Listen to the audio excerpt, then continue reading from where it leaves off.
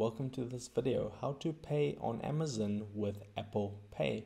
So this is possible and this is the steps that you need to follow in order to do this. So firstly before you open up the Amazon app you want to first set up Apple Pay on your iPhone.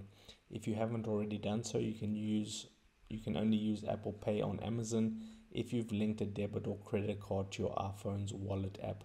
So you do need to have a linked card in your Apple Pay. So then open up the Amazon app, then simply just continue browsing on Amazon, do your shopping, add the items to your cart, and then you want to go to the checkout. And um, not all vendors will accept Apple Pay, but it says if the vendor accepts Apple Pay, you'll see it under payment options, select Apple Pay then all you need to do is check your order details then use face id or touch id to confirm the payment.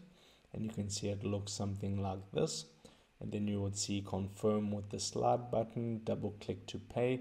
And then you'll be able to pay for that specific order on amazon using apple pay.